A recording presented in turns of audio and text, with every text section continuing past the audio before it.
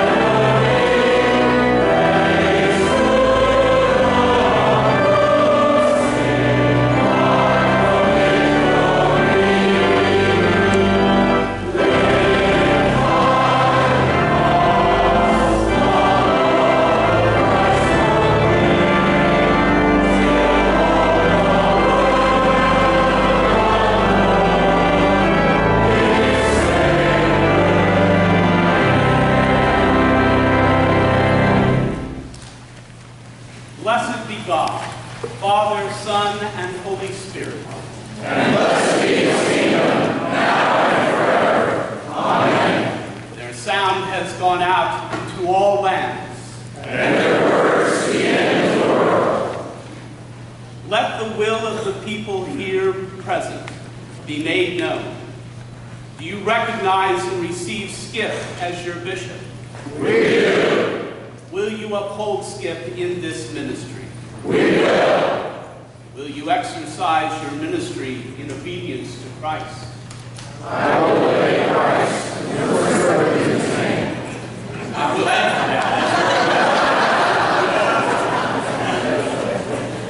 I also will obey Christ and will serve in his Please, to hear. Will you be faithful in prayer, in the study of Holy Scripture, that you may have the mind of Christ? I will, for he is my help. will bo- boldly proclaim and interpret the gospel of Christ, enlightening the minds and stirring up the conscience of your people. I will, in the power of the Spirit. As chief pastor and priest, will you encourage and support all baptized people in their gifts and ministries, nourish them from the riches of God's grace, pray for them without ceasing, celebrate with them the sacraments of our redemption? I will, in the name of Christ, the shepherd and bishop of our soul. Will you guard the faith, unity, and discipline of the church? I will, for the love of God. Will you share with your fellow bishops and the government of the whole church? Will you sustain your fellow presbyters and attend counsel with them? Will guide and strengthen the deacons and all others who minister in the church? I will by the grace given me. Will you be merciful to all, show compassion to the poor and strangers, and defend those who have no help? I will for the sake of Jesus Christ. May the Lord, who has given you the will to do these things, give you the grace and power to perform. Amen. Amen. My brother, you have been recognized as a bishop of the church and as bishop of this diocese. Now I, by the authority committed to me and with the consent of those who have chosen you, do invest you, Skip Adams, as provisional bishop of this diocese, with all the temporal and spiritual rights and responsibilities that pertain to that office. In the name of the Father, and of the Son, and of the Holy Spirit.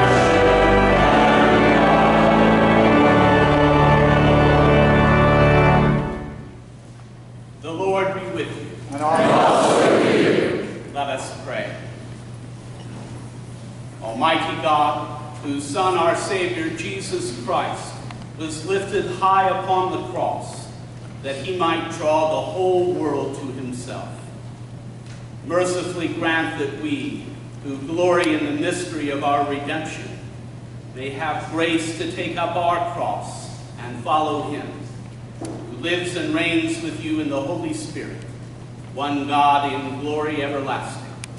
I,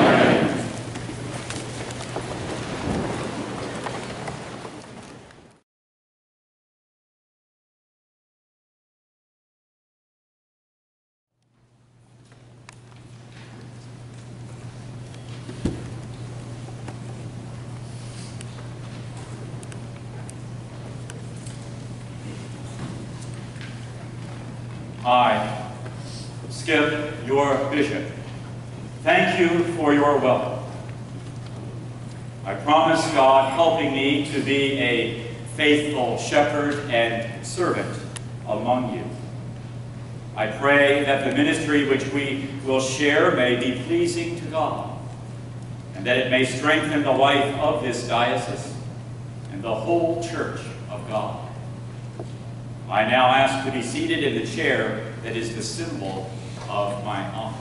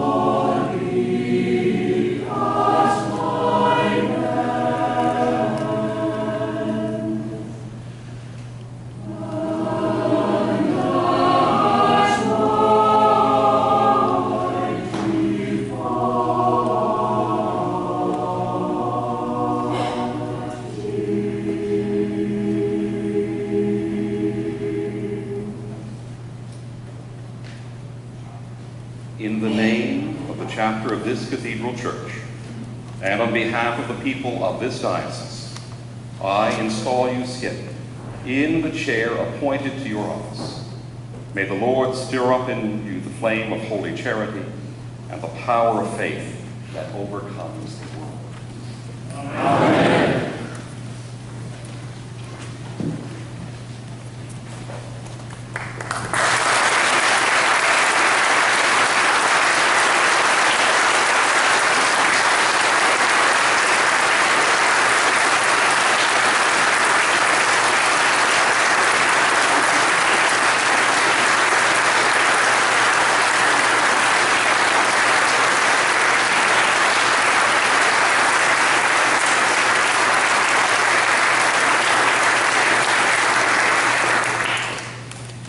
Please be seated for a moment.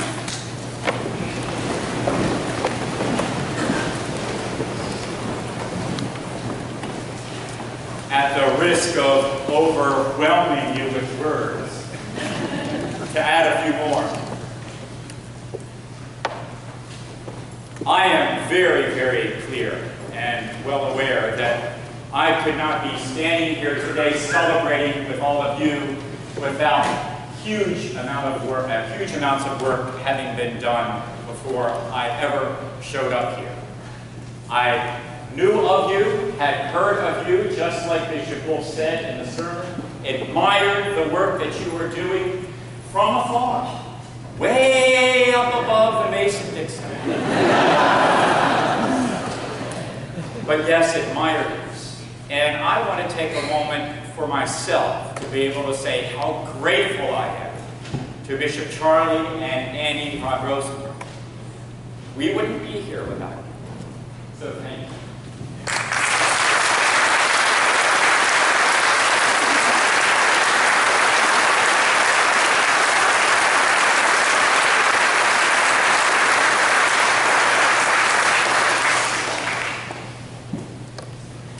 Days like today are overwhelming in all kinds of ways. It's more attention than any human being should ever get.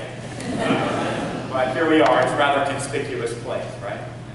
So I also want to say how grateful I am to Bishop Wolf for coming among us. And it's always a joy to serve with you in the house.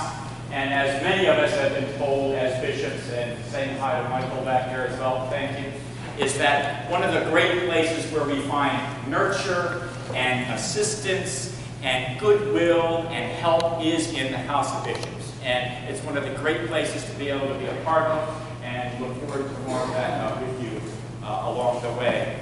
And I also want to say how grateful I am to the people of this diocese. Many of you I've met already. I've not gotten every name quite yet, but I'm getting there. And, um, but Bonnie and I have received such an incredible gracious welcome. Kindness, starting with the staff, the standing committee, others, the great turnout last night. We are deeply, deeply touched. And there is nothing greater than experience the love of God through God's people. And that's what we are experiencing. And if I may say, and I don't think it's a big risk, anywhere that I have ever served in my 36 years, I'm catching up, Charlie, in my 36 years of ordained ministry, Bonnie and I have fallen in love. And we have been loved. And so what we look forward to, if I dare to speak for Bonnie also, that's a, that's a risky thing right there. but if I may say, we look forward to falling in love with you. And that's what we'll do. So I am grateful to all of you. Thank you for your presence here today. To Dean Michael Wright and all the people of Grace Church Cathedral, thank you for your hospitality today. And because I'm a preacher, I want to leave you with an image, if I may. And this is kind of from the north, although this sport does happen in the south too, I'm aware. It's, it's, a, it's an ice hockey image. and the image is this. It is from the great uh, Wayne Gretzky. And he left an image that I have always found helpful to. And the image is this. He said, never skate to where the puck is. Always skate to where the puck is going. Now, I am well aware that that's not a perfect science. He knew that too. It's not always clear where the puck is going, but I trust the Holy Spirit to lead us to where that puck is going, the metaphor. And we are going to continue to look out and to look beyond and to trust whatever that future holds because we know that that future is held by God. And that's where we will go and look forward to discovering what that is with you as we do that work together in this place because this is about doing the work together.